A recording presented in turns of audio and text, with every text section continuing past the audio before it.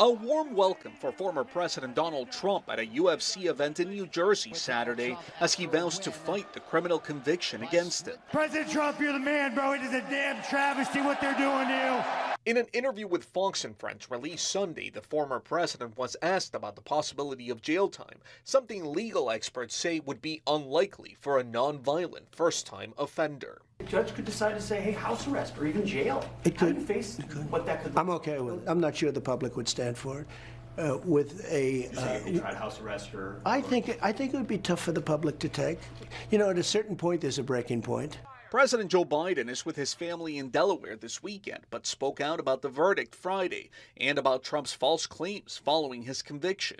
And it's reckless, it's dangerous, it's irresponsible for anyone to say this was rigged just because they don't like the verdict. Former U.S. Attorney for the Southern District of New York, Preet Bharara, says this conviction could have significant impact in Trump's pending legal cases. If he gets a conviction on the federal counts in the future, the fact of this conviction here, if it's still on the books, um, would result in a potential higher prison sentence in those future cases. A new CBS News poll finds 57% of Americans thought this was the right verdict and 56% a fair trial. Among Republicans, just 18% say the verdict was right. Compare that to 96% of Democrats.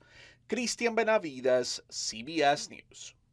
And the poll also found 51% of Americans believe Trump is no longer fit to be president now that he's been convicted.